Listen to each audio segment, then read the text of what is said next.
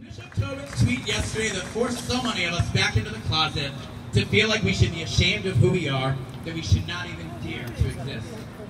That is the opposite of the message we want to be putting out here. What are we doing here? Thank you very much, everyone.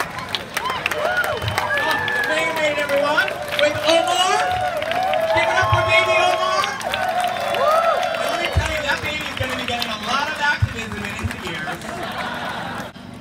mayor of the city of Providence, somebody who every time there's an attack on the LGBTQIA plus community or an attack on immigrant rights or an attack on women's rights or an attack on trans rights, this is a mayor who stands with us side by side, shoulder to shoulder, when we need elected leaders to use their voice for good. The solution.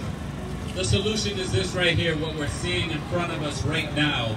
All of us coming together in unity, looking out for one another and saying that love will conquer all animosity, all hatred, and all division. You know, standing up for one vulnerable group, one group that's being attacked, isn't enough. We really all need to come together and stand up for each other. Support them we love them as well. Thank you all so much,